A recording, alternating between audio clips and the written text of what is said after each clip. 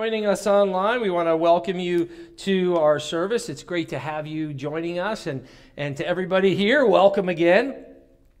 You know, I love that video because many times God puts a call on our hearts, and you just go, Really? like, really, God? Do you know what I'm talking about? I mean, if you if you pray and you ask God, "Hey, why am I here on this planet?" Why did you put me here? What is it that I'm supposed to do? And that doesn't necessarily mean your job, right? And you finally understand, or you're starting to get that message. Sometimes it's overwhelming. Like, really, God? I was a business guy for, I had a 25 year career in business. And then I went, oh, That's not it. I'm supposed to be a pastor. Really, God? Now, how am I going to do that? And sometimes He does put something on your heart that just seems so big. And, and then I, you know, I think about it and it, it's overwhelming. I mean, I can't even stick to my New Year's Eve goals. I'm still not eating better. Told myself I was going to do that, but it's not happening. And do you know that this week is the official week of the year that people give up their New Year's Eve resolutions. This is the official week. They went, nope. Was a good try, but I'm not going to do that anymore. And if you're going to the gyms, right? If you've been in the gym, you were there January 1st on that treadmill. Oh, yeah, we're doing it. Go back Monday and you see how many people are in that gym now, right? It's the official week where people go, I'm done with that one. I mean, if you haven't noticed, in 2021, lots of things just went nuts for all of us. Everything was impacted, right? Your, your personal life, you couldn't get together with your friends, your family, your loved ones. Some people are still, they, they you know, they haven't seen grandma in I don't know how long because it just hasn't been safe. In your professional life, man, I mean, how many people, like, did their professional lives change? Every single hand is, is got to go up, right? One way or another, whatever your career is, it changed. Whether it's just your for, yours didn't? What? Oh, we got to talk afterwards. Really? That's interesting. But somehow you were impacted in your professional life your financial life, your school life. I mean, if you were if you were a student, they said, "Well, come to school and now put on a mask." Nope, nope. Now go back home. Okay, now come back to school. Okay, now go back home, but we're going to give you a computer this time. Nope, now go back home, wear the mask and the computer. Nope, bring our computer back. And now, okay, now go back into school.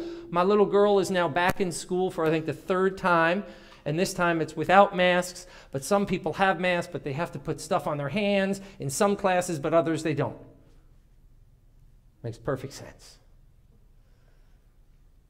I mean, we even had to. This is how, how much things change. This is craziness. Are you ready? We even had to reschedule wine study and Bible tasting. I mean, you know things are desperate. That's a group that have officially 1,800 people in it online. Thank you. And we had to reschedule it. You know it's, it's desperate. What about your spiritual life? What's happened to your spiritual life? I mean, God has, in essence, locked us in a room and said, There's your Bible. Read it. What's happened to your spiritual life? Well, we closed the chapter 2021. We're in chapter 2022. And the neat part is that the Bible tells us exactly what we got to do. It says, Forget the former things, do not dwell on the past in Isaiah. The sermon title today is Face to Face. Receive His grace. And so I want to share with you three ways for you to get the new things that God wants you to do in 2022, for you to secure the stuff that God wants you to do with your life. Wouldn't you like to know that? Then let's pray about it. Father God, we thank you for this worship service. And we pray that the words of my mouth and the meditation of all of our hearts is pleasing to you, O Father, our rock and our Redeemer. And Father, we pray that all of your messages here, whether spoken or unspoken, are experienced by everyone. So now speak in and through me, Lord. May these be your words for your will. In Christ's name we pray. And all of God's children say, Amen. Well, so the Bible scripture reads Forget the former things, do not dwell on the past. Oh, isn't that wonderful when pastors tell you to do that? So easy, right? Just forget everything. No problem. Forget anything that's happened in your life that's been detrimental, anything that holds you down, anything like that, and just kind of don't dwell on that, move on to the future. Well, it does kind of make sense, right? You wouldn't be here, you wouldn't be on this broadcast, you would not be the person you are today had it not been for those experiences you had in the past good, bad, ugly, and great. All of them. And realize that when Isaiah writes this, it seems so, oh, yeah, well, that'll be easy. But he's writing this to the children of Israel in a really, really tough time in their history. So picture this they're in captivity, they have lost everything they thought they would keep forever. They're homesick for their land, they want their land back. And God has been promising them this land and this blessing, and they, they're going, hey, God, it's about time that we get this stuff back. They are sad, they are frustrated, they are ready for God to move. Who's ready for God to move in their lives? right?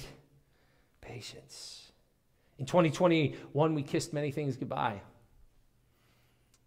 Last night, we had an amazing celebration of life for one of the founding members of this church. The place was standing room only, Stuart Rosenfeld. We kissed him goodbye for the time being because we're saved. We know we'll see him again in paradise. We said goodbye to some others, to, to Ron Iden, a, a long time member of this church. God called him home too. Both of those just blew all of our minds. I wouldn't have even thought. I mean, there were a lot of things in our lives, in your lives, that you had to say goodbye to. 2022 in our lives will never, ever be the same. Ever. And when you think about that, that's not devastating news because your life will never be the same tomorrow as it is today. So it's not such devastating news. But it brings you into a, a new light, a new perspective of, of how you interact with God. And the great news is God's got something new that He wants you to do in 2022. And I made that rhyme myself.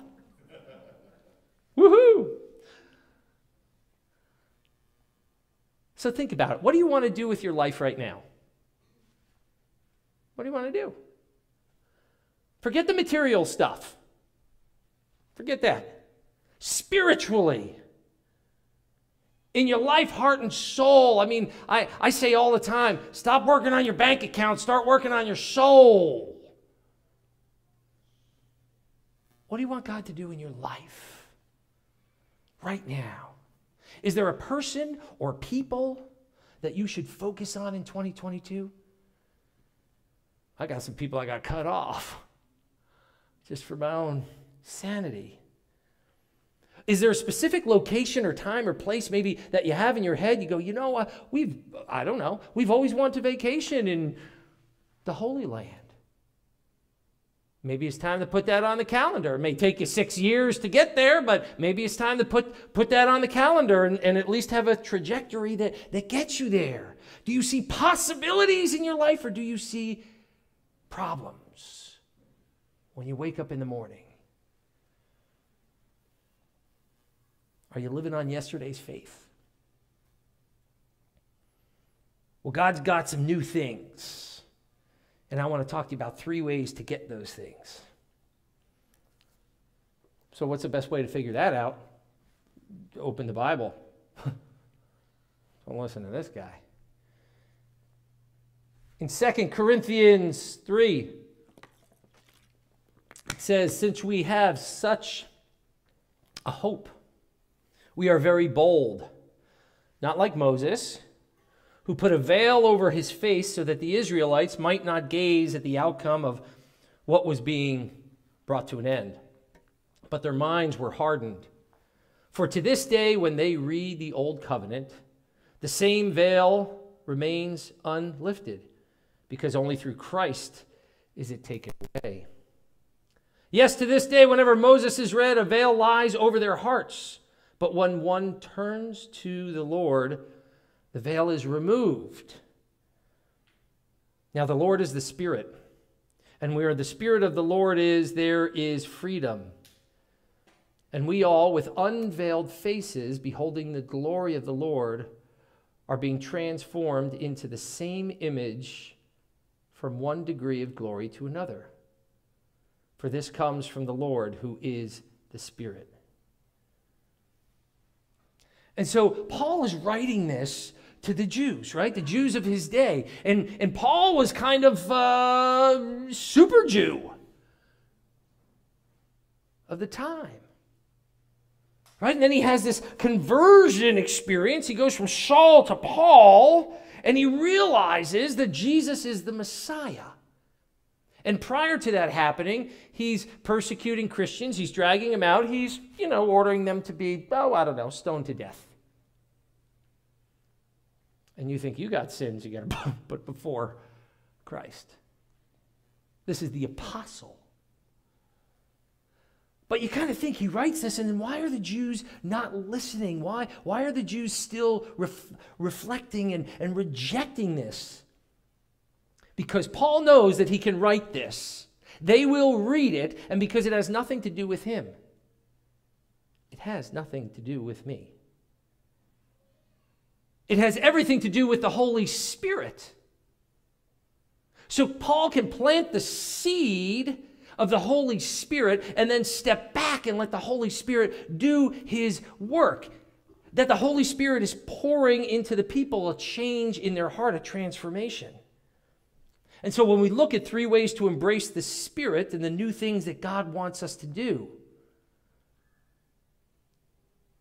we can see our life through transformed lenses, through the lenses of the Holy Spirit. And if you're seeing your life through the lenses of the Holy Spirit, guess what? We can position our lives to receive grace. So, guess how you, see, you receive grace? I love to give you things that you can remember. You're going to remember today. You ready? You know what today is all about? The F word. Today's all about the F word. Now, I don't know what you're thinking, but I'm thinking focus. Today is all about focus. When we talk about changing our focus, right? Forgetting the former things. Don't dwell on the past. If you're continually looking behind you, you can't see where you're going. I got a new bike. I'm so excited. It's one of those hybrid, you know, things, and so I can get the, the help when I start to pedal. That thing's fast. And I've never ridden one of these things. And I realize that when I go like this, I keep going that way. And you know what's that way? Poles and light posts and curbs and stuff. And I keep, because I'm not a big bike rider, I keep looking behind, make sure like a car's not coming or I don't know, I hear something, you know, and I do one of these and I, you know, whoa, and there's a pole. If you're looking behind you, it's very probable that you're going to impact something in front of you. My wife makes me wear a helmet now.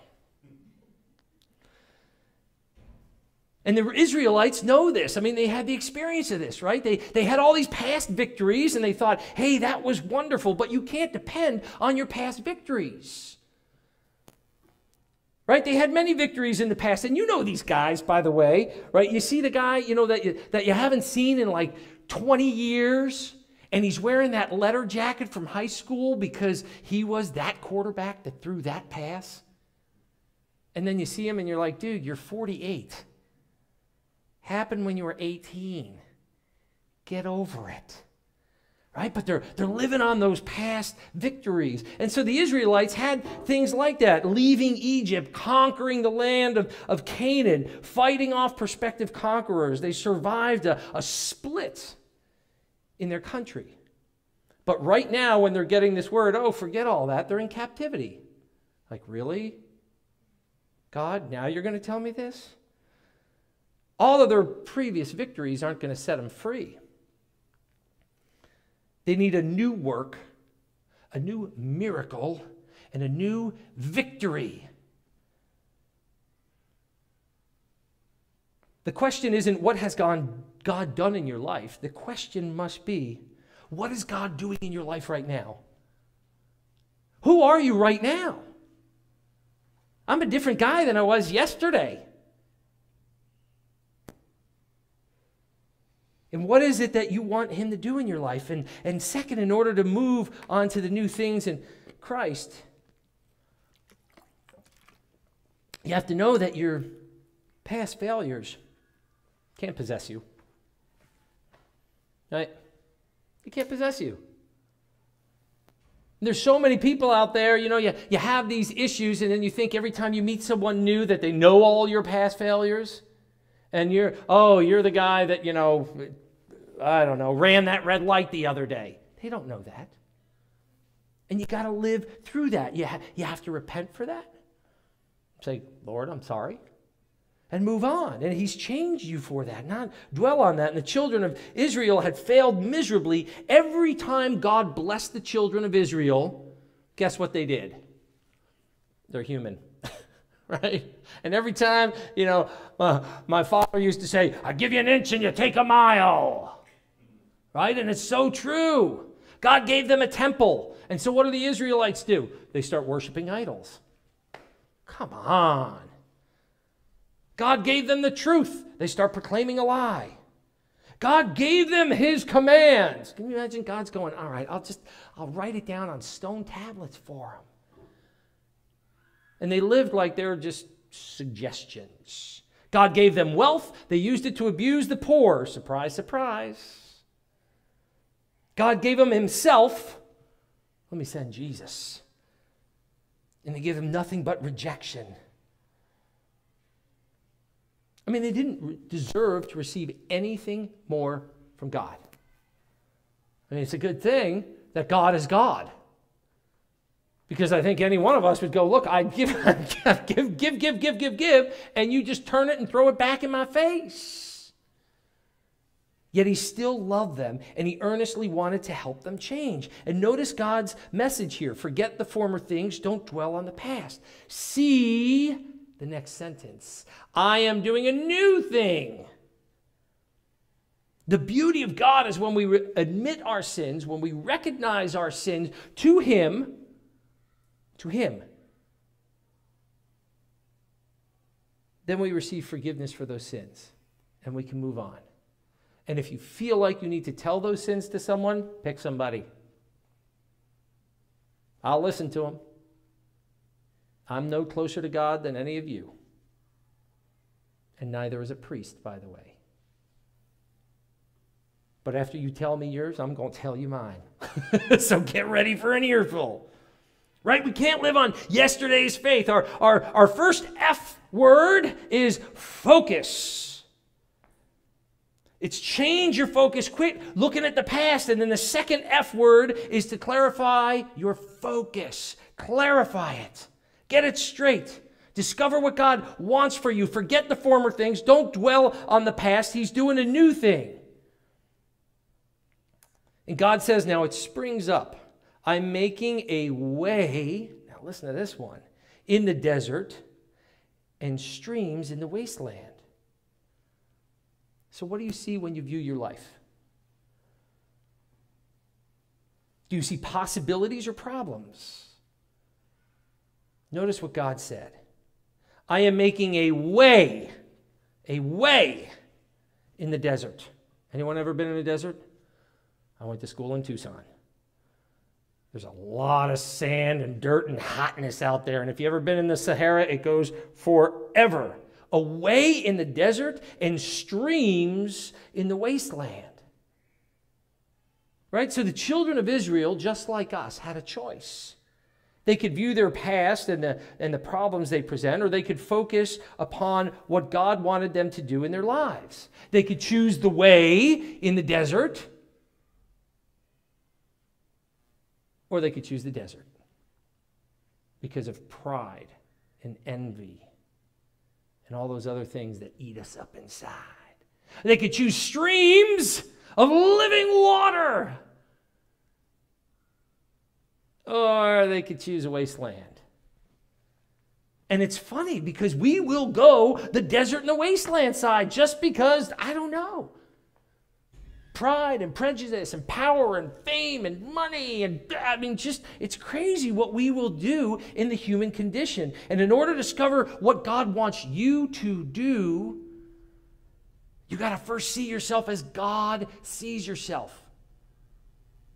I mean, if someone were to ask God, "Hey, what's what's Marcos all about?" I would hope he would say, uh, "He's a disciple of Jesus Christ." Next what would he say about you? You got to see yourself as God sees yourself. You, you got to feel like your past has made your, your life possibly a wasteland. But God, in his infinite wisdom and infinite love for you, turns it into a stream. In Romans 8, it says, Therefore, there is no condemnation for those who are in Christ Jesus. Yep, no matter how bad we are, or how good we are, or how good you think you're, you are. Here's one to think about how humble you think you are. Oh, because the moment you think you're humble, you're not being humble. Just want to make sure you're listening. Because through Christ Jesus, the law of the Spirit of life set me free from the law of sin and death. And then in Colossians, he says, And you who once were alienated and enemies in your mind by wicked works, yet now he is reconciled in the body of his flesh through death to present you holy and blameless and above reproach in his sight. God will take your life if you let him. He loves you enough to give you free will. He will take your life, even if you see it as, as dried up, useless, and he will transform it into a life of purpose and grace. So we got two F words right now. They're both focus. The first one is change your focus. And the second one is clarify your focus. And our third F word, focus, is focus on your commitment to God. That's a tough one. To God's plan for your life. You know who you are. And if you don't, do something crazy. Turn your phone off for five minutes. Close your eyes and say, God, I'm listening. And then be quiet and just listen. Focus on your commitment. God's already set into motion. This is what's so cool about God. He's already set into motion a plan for your life. Even the events for the people of Israel to get them out of captivity, back to receive that blessing. But it was still up to them to decide that they wanted to receive that blessing and receive God's offering. And if they refused God's plan, and if they refused following God and leading God, then they were going to suffer more. The Bible says, and I am doing a new thing. Yes, Lord, do a new thing in our life, do a new thing in our church. Now it springs up. Do you not perceive it? I'm making a way in the desert and streams in the wasteland. For he is our God. We are his people in his pasture and the sheep of his hand. So today, are you willing to listen to God? The F word focus. Are you willing to focus on God? And how you do that is by praying, speaking to God. And part of prayer is listening. It's not just a list of, boy, I need this. Then it's listening to God. And where the F word comes in, it's focusing. Pray, listen, and, and obey. He calls us for obedience. A, a new vision, a new interest in the things of God in your life. Imagine what that would be. I pray for many of you, the F word has now taken on a whole new meaning in your life. Focus. Change your focus. Look ahead. Clarify your focus, discover what God wants for you, and focus on the commitment to God's plan. When God does something new in your life, it is transformational. Let's pray. Father God, just as Isaiah wrote to the children of Israel during a bleak period, some of us are coming back from pretty hard periods of our life, from bleak periods. Some of us are counting those periods of joy, and all of us want to grow closer to your love.